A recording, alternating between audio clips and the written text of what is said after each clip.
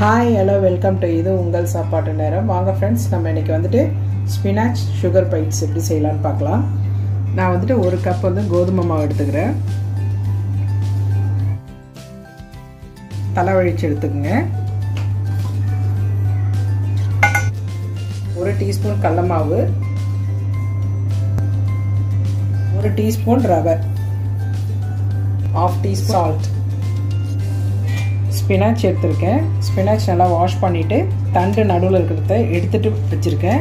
So இப்போ இதை நம்ம வந்துட்டு இதில் கிளி போட்டுக்கலாம். கலர் எடுத்துக்கலாம் நம்ம இப்போ.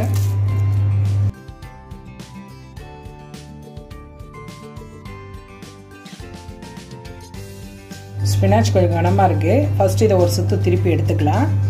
கொஞ்சமாக நான் தண்ணி விட்டுக்கிறேன். இங்கே பாருங்கள் மழை ஆன பிறகு கொஞ்சம் ஒரு திருப்பி திருப்பின பிறகு ஒரு கப் தேங்காய் துருவி ஃப்ரீசரில் எடுத்து வச்சுருக்கேன். தேங்காய் எப்பயுமே வந்து எக்ஸ்ட்ரா இருந்துச்சுன்னா வெளியில் வைக்காதீங்க. ரெண்டே நாள்லேயும் ஒரே நாள்லேயே வீணாக போயிடும். ஸோ நீங்கள் ஃப்ரீசரில் வச்சிங்கன்னா சூப்பராக இருக்கும். நான் இப்போ இந்த தேங்காய் ஃபுல்லும் இதில் ஆட் பண்ணிக்கிறேன். ஏன் கோகோனட் போடுறேன்னா இது வந்து அது சாஃப்ட்னஸ்க்காக போடுறேன் நான். இப்போ தண்ணி விட்டு மீதி இருக்கிற தண்ணியை விட்டு நம்ம அரைச்சி எடுத்துக்கலாம். இப்போ நம்ம வடிகட்டி எடுத்துக்கலாம். நீங்கள் துணி போட்டு புழிஞ்சு கூட எடுத்துக்கோங்க. நான் இதை ரெண்டு தடவை வடிகட்டுறேன். இப்போ இந்த மாவில் நம்ம எடுத்த ஸ்பினாச்சும் தேங்காயும் போட்டு அரைச்ச பாலை வந்துட்டு கொஞ்சம் கொஞ்சமாக விட்டு இதில் பிசைஞ்சிக்கலாம். மொத்தமாக ஊற்றிடாதீங்க தண்ணியாகிடும் திட்டமாக எவ்வளோ தேவையோ சப்பாத்தி மாவு பதத்துக்கு பிசைஞ்சிக்கங்க. ஒரு டீஸ்பூன் எண்ணெய் விட்டு பிசைஞ்சிங்க கையில் ஒட்டாமல் கொள்ளாமல் இருக்கும்.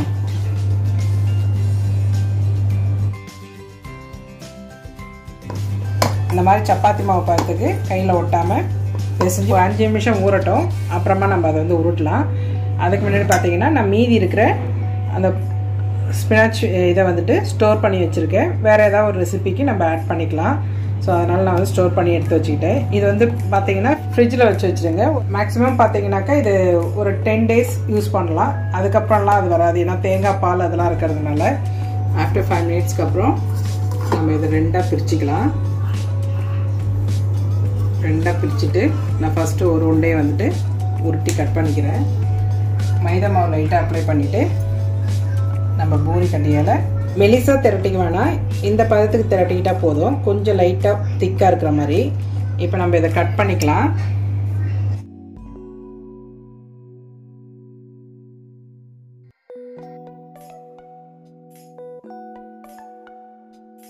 இப்போ இதை வந்து நம்ம இந்த கார்னரும் இந்த கார்னரும் இப்படி மடிச்சுக்கலாம். அதை அப்படியே திருப்பிக்கிங்க டவுனில் இந்த சென்டரை இப்படி கொஞ்சம் ப்ரெஸ் பண்ணிக்கோங்க. இந்த கார்னரும் இந்த ஏஜையும் இப்படி ஒன்றா சேர்த்துக்குங்க. அவ்வளோதான் இங்கே பாருங்க.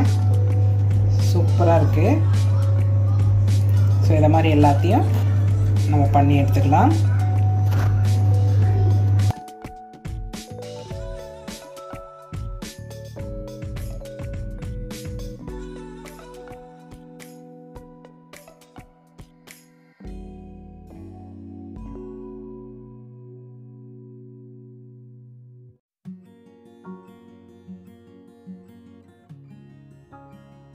ஸோ அதே மாதிரி அடுத்த மாவையும் நம்ம போட்டு எடுத்துக்கலாம்.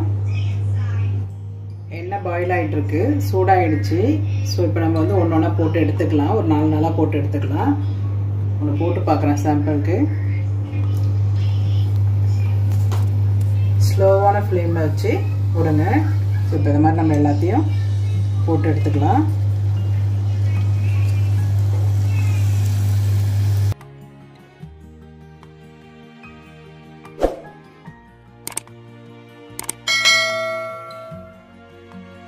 இந்த மாதிரி எல்லாத்தையும் ஒரு முறை போட்டு எடுத்துக்கோங்க. சூப்பராக இருக்குது நான் எல்லாத்தையும் போட்டு எடுத்துகிட்டு உங்களுக்கு காட்டுறேன். எல்லாத்தையும் நம்ம ஃப்ரை பண்ணி எடுத்தாச்சு. ஒரு கப் சுகர் எடுத்திருக்கேன். ஒரு கப் மாவுக்கு ஒரு கப் சுகர் எடுத்திருக்கேன். உங்களுக்கு கொஞ்சம் சுகர் அதிகம் வேணும்னா நீங்கள் இன்னும் கொஞ்சம் கூட ஆட் பண்ணிக்கலாம். கொஞ்சமாக தண்ணி விட்டுக்குங்க. இது மெல்ட் ஆகட்டும். இப்போ நம்ம வந்துட்டு இதில் ஏலக்காய் கொஞ்சம் தூவிக்கிங்க. உங்களுக்கு வாசனை வேண்டாம் அப்படின்னா விட்டுடலாம். நான் ஒரு சிட்டிக்கு அளவுக்கு ஏலக்காய் ஆட் பண்ணிக்கிறேன்.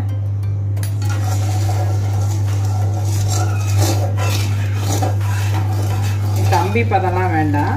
இந்த மாதிரி நுர இருக்கும்போது மெல்ட் ஆகும்போது நம்ம ஃப்ரை பண்ணி வச்சு இந்த ஃப்ளவர்ஸ் அதில் ஆட் பண்ணிக்கலாம்.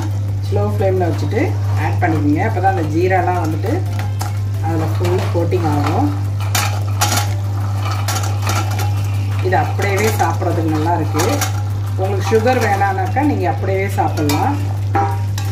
அந்த ஜீரா ஃபுல்லாக இதுவாகிற வரைக்கும் நம்ம கொஞ்சம் திருப்பி திருப்பி எடுத்துக்கலாம். ட்ரை ஆகிற வரைக்கும்.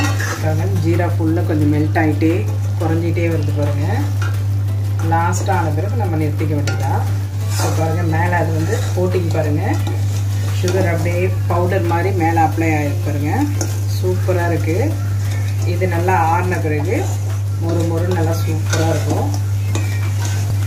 கலர் போடாமல் நீங்கள் ஒரிஜினல் இது எடுத்து வீட்டிலே பண்ணி கொடுங்க பசங்களுக்கு. கலர் ரொம்பவும் யூஸ் பண்ணாதீங்க.